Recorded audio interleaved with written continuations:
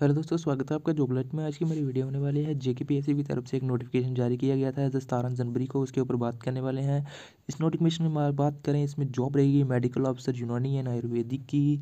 इसके ऊपर बात करने वाले हैं, इसमें क्या रहेगा प्रोसीजर अप्लाई करने के लिए, उसके बारे में फुल डिटेल बात करेंगे। बनिए लास्ट तक, वीडियो अच्छी लगी लाइक कमेंट ज़रूर करें। अगर हमारे चैनल में नहीं तो चैनल को सब्सक्राइब करें और साथ में नोटिफिकेशन बेल आइकन ऑन कर लीजिए, जब भी कोई जॉब रिलेटेड बड़ी अपडेट आए, आपके पास सबसे पहले पहुँचे।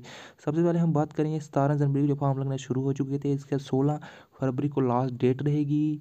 इसमें अप्लाई करने के लिए क्या प्रोसीजर रहेगा नीचे हम बात करेंगे। इसमें अगर आप नेक्स्ट हम पोस्ट वाइज डिटेल की बात करें, इसमें किस तरह से वैकेंसीज दी गई हैं, इसके नेम ऑफ़ पोस्ट इसकी रहेगी मेडिकल ऑफिसर आयुर्वेदिक फ्रेशर की इसमें सैलरी की बात करें, बुंजा हज़ार सात सौ से लेके एक लाख छियासठ हज़ार सात सौ के बीच में रहेगी। इसमें पोस्ट की बात करें ओ एम आर की पाँच पोस्ट दी गई हैं।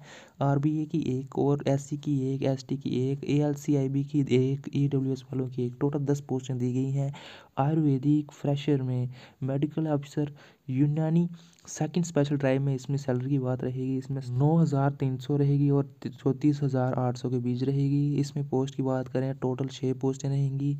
ओ एम के लिए कोई भी पोस्ट वगैरह नहीं दी गई है यहाँ पर। इसमें एस सी की चार, एस टी की एक, ए एल सी की एक पोस्ट दी गई है। टोटल छः पोस्टें दी गई हैं। और नीचे हम बात करें medical officer Ayurvedic second special drive में लिए, यहाँ पर सैलरी की बात करें नौ हज़ार तीन सौ से लेके चौंतीस हज़ार दो सौ बीच रहेगी। दूसरी बात करें एस टी की दो और टोटल पोस्ट इसमें दो दी गई हैं। टोटल अठारह पोस्टें रहेंगी। नीचे हम क्वालिफिकेशन की बात करें, इसमें मेडिकल ऑफिसर यूनानी के लिए यहाँ पर बैचलर डिग्री होनी चाहिए आपके पास।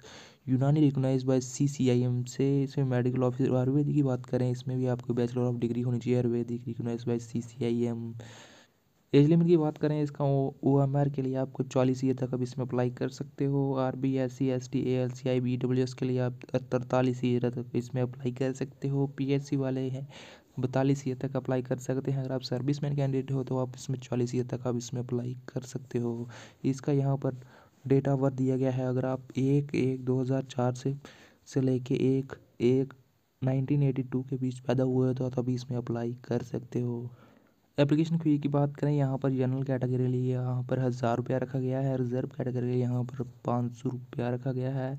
पीएससी के लिए कोई भी पेमेंट नहीं रखी गई है यहाँ अगर आप नोटिफिकेशन देखना चाहते हो तो उसका लिंक मैंने डिस्क्रिप्शन में दे दिया है। आप नोटिफिकेशन रीड कर सकते हो और साथ में ऑफिशियल वेबसाइट का लिंक भी मैंने नीचे डिस्क्रिप्शन में दे दिया है। आप नोटिफिकेशन भी देख सकते हो। यहाँ पर एडिट ऑप्शन की बात करें, यहाँ पर एडिट ऑप्शन दिया गया है। उन्नीस फरवरी दो हज़ार बाईस से लेके इक्कीस फरवरी दो हज़ार बाईस के बीच अगर आपका फॉर्म भरते टाइम कोई भी गलती वगैरह रह जाती है तो आप उसमें एडिट ऑप्शन यूज़ कर सकते हैं आपकी करेक्शन कर सकते हैं।